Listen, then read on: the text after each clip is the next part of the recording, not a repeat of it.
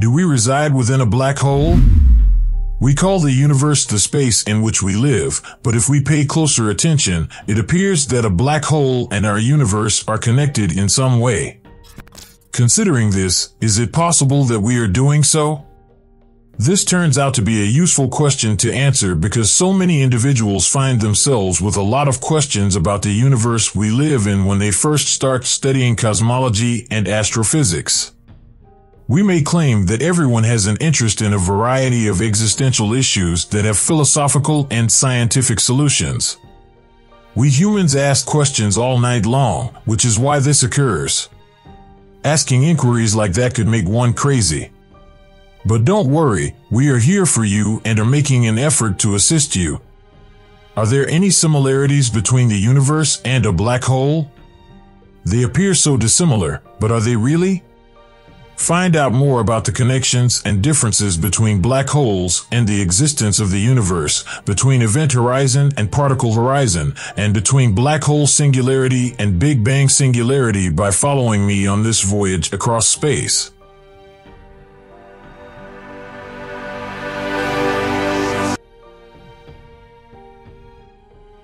The observable universe is the interior of a black hole in a black hole cosmology, also known as Schwarzschild cosmology or the black hole cosmological model.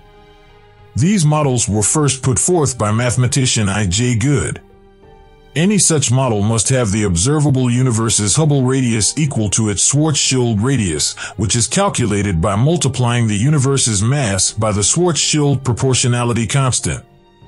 Although it is well known that this is almost certainly the case, the majority of cosmologists view this close match as a coincidence. But first, let's step back and think about how a black hole and our universe are related. The first similarity is between the universe's mass and a black hole's size. When we examine the universe and compare it to a black hole, there is a strange coincidence that arises when we ask, if there were a black hole the size of the universe, how much mass would the black hole need to be the mass of the universe? You plug this incredibly straightforward equation into the Schrödinger equations to obtain the universe's mass. It's a little bit intriguing that you can calculate the universe's size by entering the universe's mass into the black hole calculations. The universe and black holes do appear to share certain similarities at first glance. Event and particle horizons also occur simultaneously. Event horizon, the line defining a black hole's perimeter. The escape velocity is equal to the speed of light at the event horizon. Nothing inside the event horizon can ever breach the barrier and escape beyond it, including light, because general relativity holds that nothing can move faster than the speed of light. Nothing that enters a black hole can thus neither escape from it nor be seen from outside the event horizon. The particle horizon, also known as the cosmological horizon, is the farthest point from which an observer could have received light from particles during the early universe. Due to the expansion of the universe, it is not simply the age of the universe times the speed of light, as in the Hubble horizon, but rather the speed of light multiplied by the conformal time. It serves as the boundary between the observable and the unobservable regions of the universe, so its distance at the current epoch defines the size of the observable universe.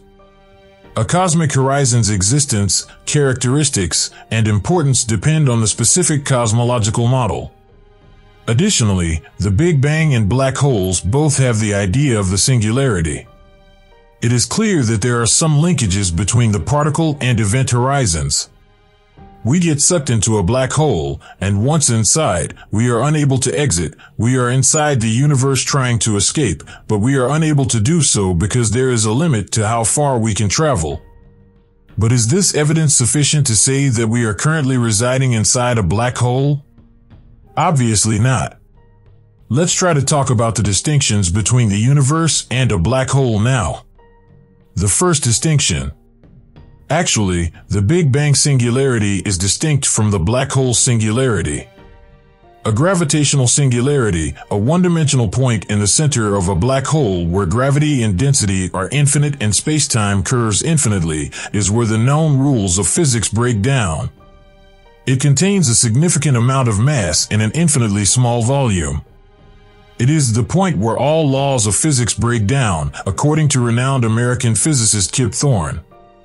According to current theory, as an object enters a black hole and moves closer to the singularity at its center, it will stretch out or become spaghettified as a result of the increasing gravitational pull on different parts of it. Eventually, it will presumably lose all three dimensions and vanish irrevocably into the singularity. However, a person witnessing the scene from a secure distance outside would see things differently. Relativity theory predicted that they would observe the object moving more slowly as it got closer to the black hole until it finally came to a full stop at the event horizon, never really entering the black hole. Instead, the Big Bang singularity, also known as the initial singularity, is a singularity hypothesized to have existed before to the Big Bang and to have held all of the universe's energy and spacetime. The Planck epoch, the earliest span of time in the history of the cosmos includes the instant that immediately follows the first singularity. Singularity of a black hole is merely a spot in space. Time contained within a bigger cosmos, instead the Big Bang singularity is the origin of the universe and the place where everything began. The second distinction, we can compare a black hole's event horizon to a bubble since it is immersed once again in the broader universe and once you enter, you cannot leave. In contrast, wherever you go in the universe, you are already inside the bubble. Third distinction. A black hole singularity is also something that will happen in the future. If you fall into one, no matter how hard you try to escape, you will always end up there, regardless of where you go or how hard you try to get there. The future is constantly involved. The Big Bang singularity, on the other hand, is an event from the past. The singularity cannot be avoided if you go through time, but if you move into the future, you are free to travel anywhere and in any direction without encountering the singularity. So, we appear to have gained additional knowledge. However, it still falls short. In fact, it appears that we have contributed some fresh information without reaching an agreeable conclusion. There is still no response to our query. Although there are significant distinctions, we also learned that there are linkages between black holes and our universe. What is reality? It would seem that mathematical creations rather than physical explanations are where the truth is hidden. This is why. We view our universe and our reality through the lens of Einstein's relativity. If you look around the universe and sort of play the pretend game where a black hole is, the fact that it looks like a black hole is just a coincidence.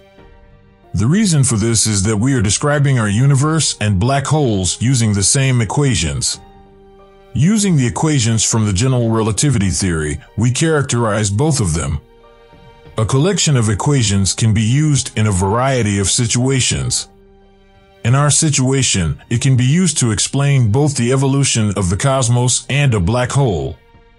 Because the solutions in both situations come from the same set of equations, they are essentially comparable once the set of equations has been mathematically solved.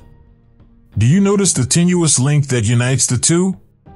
We could claim that maths, not physics, is the reason we are deceived. As a result, occasional coincidences occur. Naturally, there are some similarities between the universe and black holes. For instance, both are believed to have a symmetrical distribution, which leads to mathematical problems with similar solutions. But we might also ask, what if it wasn't a mathematical coincidence and it turns out that we do, in fact, inhabit a black hole? There would be no change. Our universe's evolution would be described by the same equations. We would all have the same cosmological knowledge.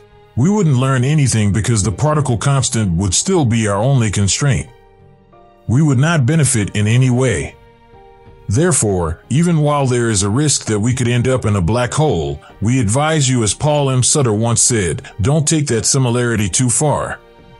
A collection of spherically symmetric solutions can occasionally just be a set of spherically symmetric solutions, just as a cigar occasionally is just a cigar.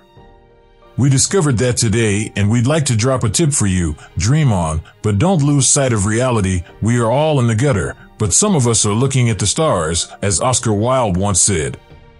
However, even when gazing at the stars, we feel the need to occasionally point out that we are all in the same predicament. Get your feet back on the ground because science is what inspires you to dream, but science is concrete because it is made of real thing and real bodies. Do you believe that humans could survive inside a black hole? How did you find the video? Tell us in the comment section below.